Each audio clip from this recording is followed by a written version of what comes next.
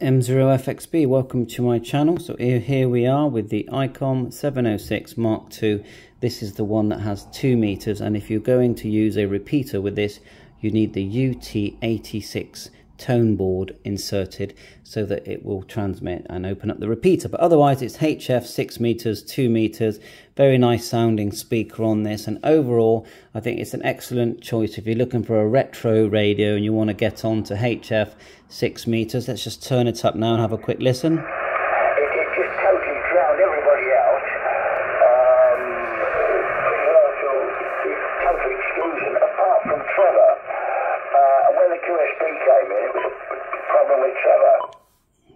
Turn on the band scope.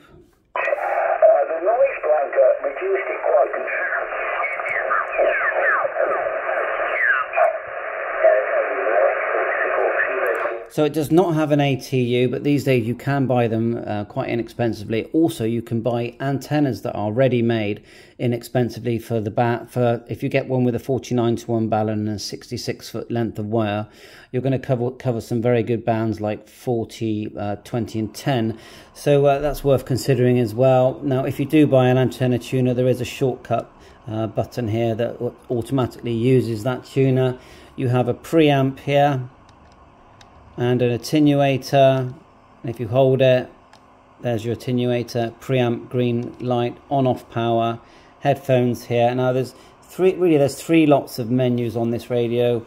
So if we use a display button, if you start with the M menus, M here, with push the display, and you can cycle through um, from M1, M1, so split mode, A, B, A to B, memory write, memory to VFO, and then VFO memory. So you can have memory and also band stacking. Uh, filter, IF filter, by turning the outer knob here. You have your volume here.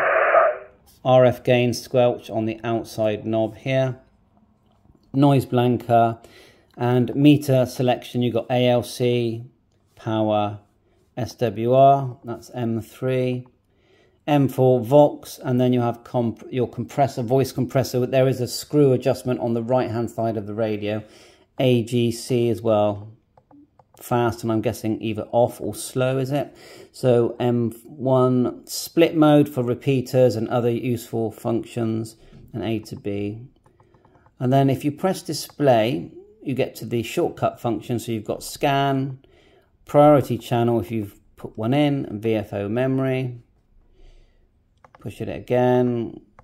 Right, stay on S a bit longer. S3, band stacking, shortcuts to different bands.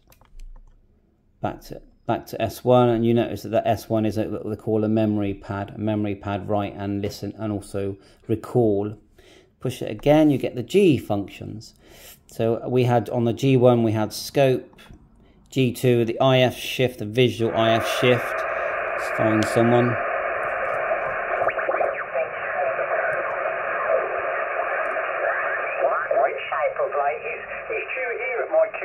Shortly actually. He's popping over for a cup of tea and another. That a nice visual uh, IF shift, and it works uh, well. Uh, that sounds good, and this nice speaker. That's just the standard speaker. G2, G3 shows you what you're TXing on. G4 memory name. That's for adding, you know, so if that's a memory channel, you can now name it. For the, the changing the frequencies, the bands are on the right here, up and down. Nice and simple, just scroll up and down. The mode, again, nice and simple. Go all the way across LSB, USB, RTTY. But if you, on CW, if you hold it, CWR, just see if it does anything when you hold it on uh, LSB. No, it just switches it. Let's go to RTTY. Oh, look, RTTY reverse as well. Okay, and then you've, as you can see, you've got tone selections here as well for repeater use. Where do we see that? There it is there. Tone, tone squelch. Like I said, you need the UT86 board to use tones. Vox M4.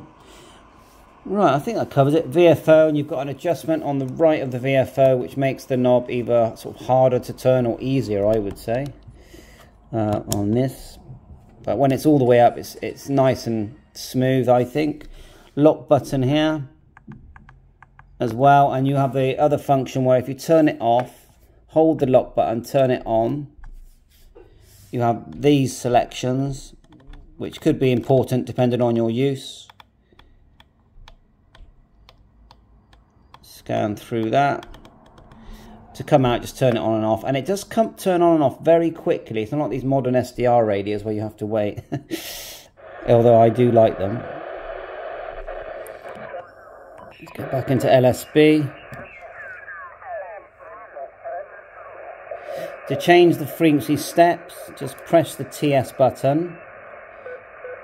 And again, but if you want, if you put it so that the arrow is there, then hold it, then look, you can really change the tone steps like that.